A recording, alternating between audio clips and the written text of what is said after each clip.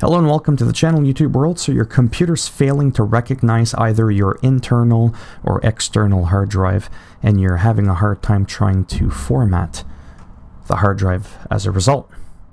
You want to go to the magnifying glass and type the word disk in. Never mind that, it's because I did an extra step. First thing is first. Locate your drives that you do not want to format. Find the one that was unlisted. Mine is disk 4, so for me specifically it's number 4. And again, you're clicking on the big bar, you right click, everything's all grayed out. Everything was grayed out for me here as well. So, now that you found that out, hit the Windows key and the letter R.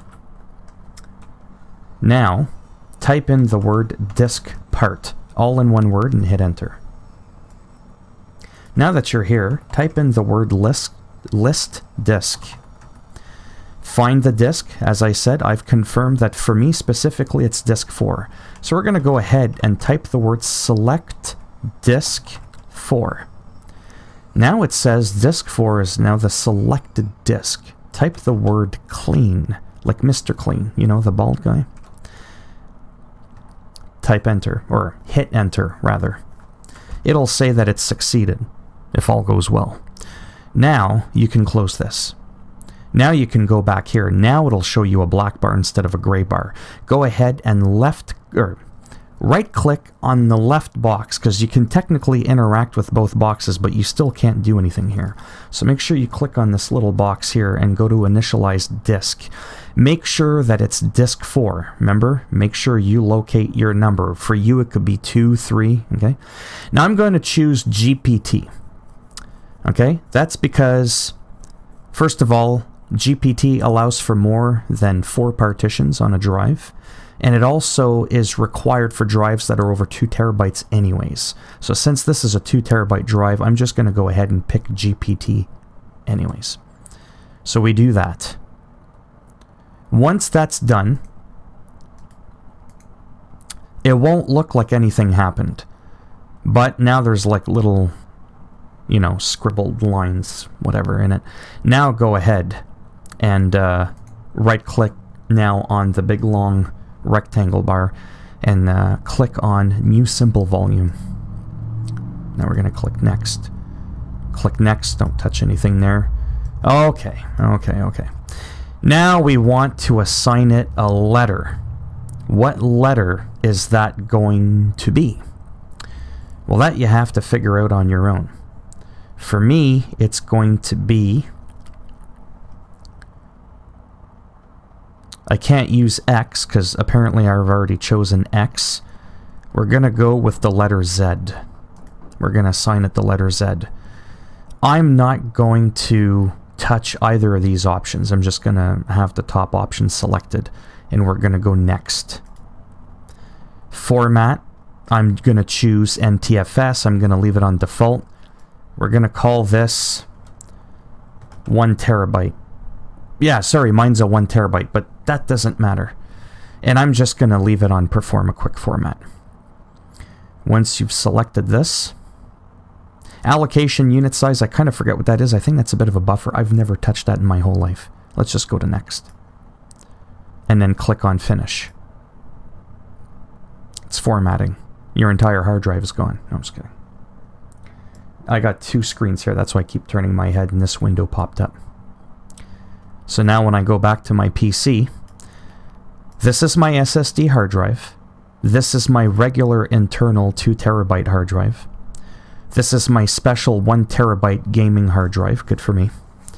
This is the newly formatted discoverable hard drive that we were unable to see originally considered drive 4. And now as you can see, it just works. I'm going to try to do a really quick recap. So you want to go to your magnifying glass. You want to type the word disk. It brings up this window. Locate the number of the drive here that you want to format. And by the way, if you don't see your hard drive in here, it is fucked up. You're screwed. Now you want to hit the Windows R key once you've located the right number. You want to type in disk part. You want to type in list disk. You want to type the word select disk. For me, it's 4. Again, for you, it could be two, three, ten. I don't know what's going on on your end.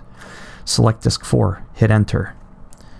Disk 4 is now the selected disk. Now type the word clean. Hit enter. Once you do that, you close it out. You come back here. And this is where it'll allow you to initialize the drive. And then once it's done that, you can go here and start it as a new simple volume. Go through the, uh, the last couple of steps I just showed you. And that's it. Like I said, if you don't see your disc here, it is done like last week's meatloaf. You know what I'm saying? You're like up the shit creek without a paddle. So, yeah.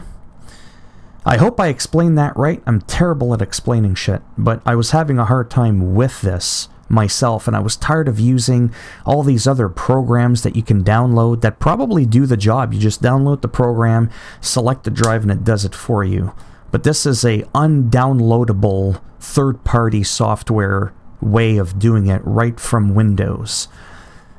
So yeah, I'm going to stop talking now. So if you liked the video, give it a thumbs up. If you didn't like the video, go ahead, give it a thumbs down, but I'll make sure when you select the disk you want to format, it formats every other drive but the one you wanted.